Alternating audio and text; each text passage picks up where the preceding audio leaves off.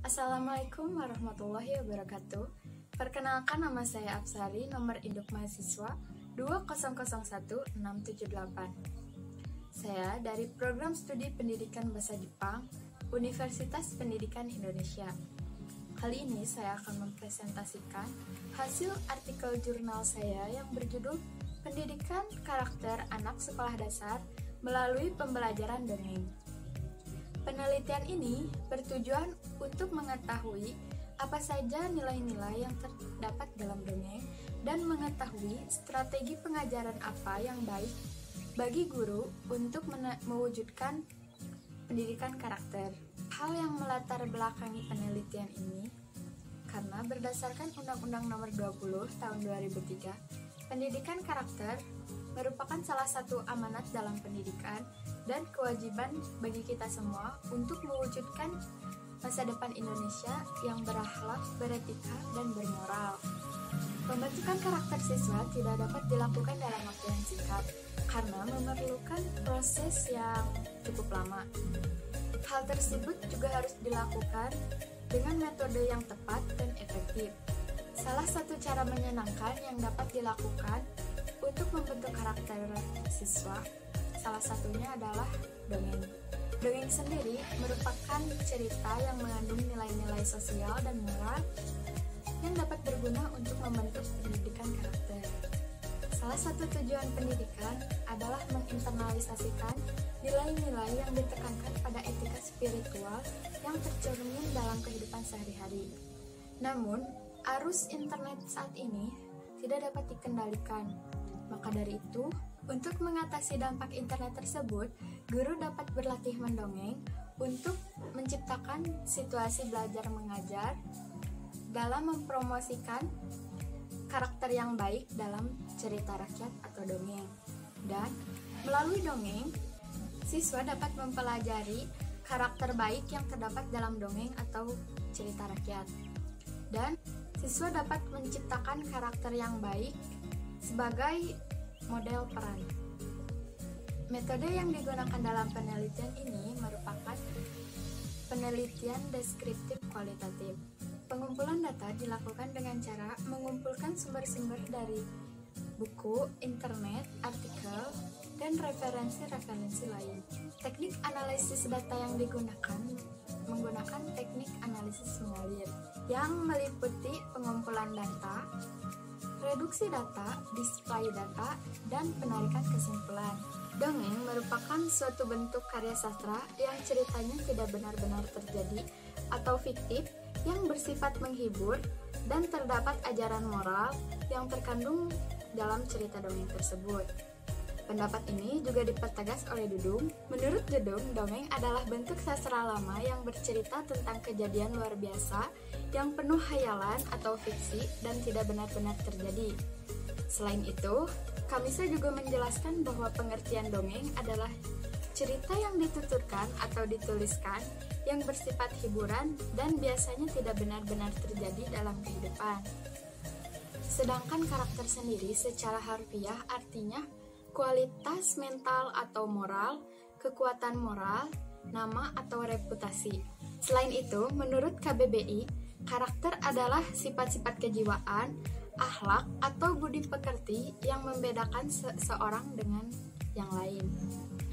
Nilai-nilai pendidikan karakter yang terkandung dalam dongeng sangatlah baik untuk membentuk karakter siswa atau peserta didik. Nilai-nilai pendidikan karakter yang terkandung dalam dongeng yaitu nilai keberanian, sikap saling membutuhkan, sikap disiplin diri, penghormatan diri, bersikap adil, peduli sesama, saling melindungi, dan sikap hormat kepada orang lain. Sikap bermusyawarah dan gotong royong. Likolina menjelaskan bahwa nilai pendidikan karakter mengandung tiga unsur pokok yaitu mengetahui kebaikan, mencintai kebaikan, dan melakukan kebaikan. Pendidikan karakter tidak hanya berhenti pada wawasan anak didik tahu dan paham tentang karakter-karakter mulia, tapi hendaknya membuat anak didik memiliki komitmen kuat pada nilai-nilai karakter.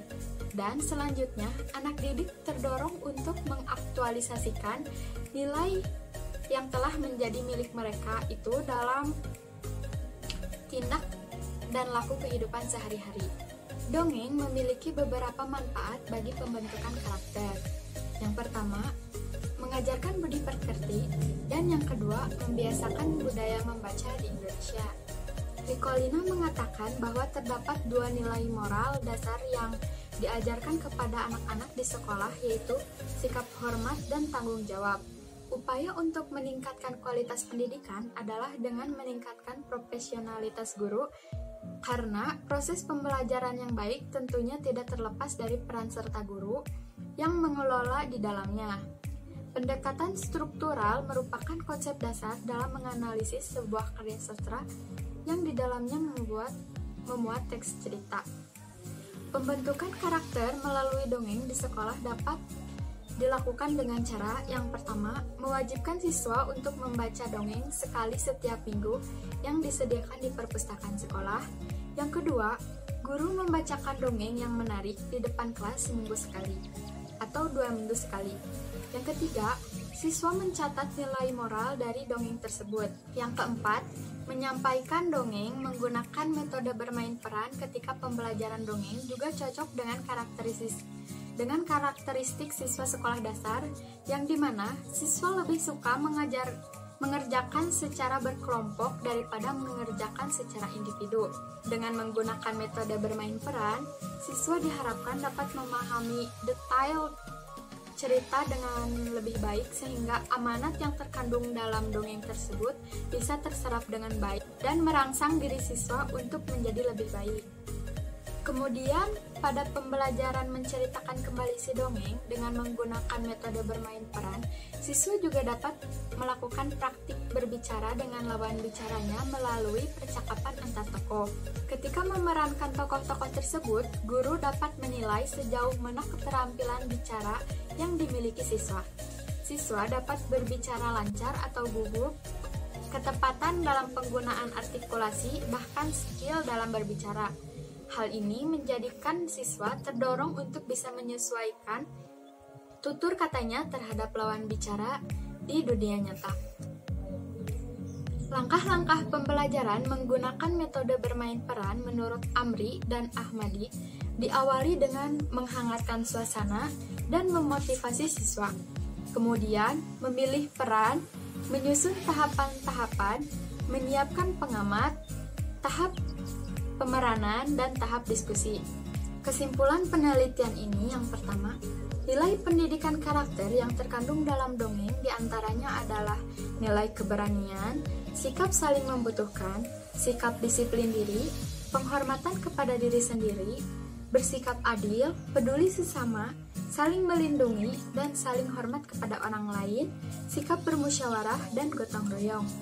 Yang kedua, Metode guru dalam menyampaikan dongeng kepada siswanya di antara, di antaranya adalah dengan mewajibkan siswa untuk membaca dongeng yang disukai atau guru menyampaikan cerita dongeng dengan sangat menarik di depan kelas dan bisa pula menggunakan metode bermain peran.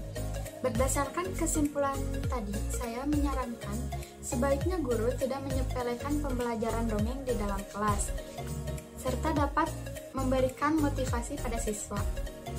Maka dari itu, guru harus memperhatikan lebih mengenai strategi pembelajaran dongeng itu sendiri.